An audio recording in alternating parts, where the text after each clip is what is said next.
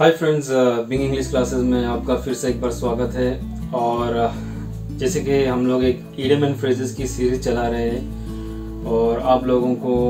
जो मैं सिखा रहा हूँ ईडम एंड फ्रेजेस तो चलिए आज का एक नया ईडम एंड फ्रेज मैं आपके लिए लेकर आया हूँ जिसका मतलब होता है हैव अ गुड नोज़ अब हैव अ गुड नोज़ का मतलब होता है कि किसी भी चीज़ को समझने की जो क्षमता होती है जो कुदरती तौर पर जो समझने की क्षमता होती है, उसे कहते हैं हैव अ गुड नोज़ हर बार की तरह मैं आप लोगों को और एक एग्ज़ाम्पल दूँगा ईडमन फ्रेजेस का, जैसे कि my mother has a good nose of cooking तो इस तरह के नए नए ईडमन फ्रेजेस के लिए आप मेरे चैनल से जुड़ सकते हैं और अपने दोस्तों को भी इस बारे में बता सकते हैं।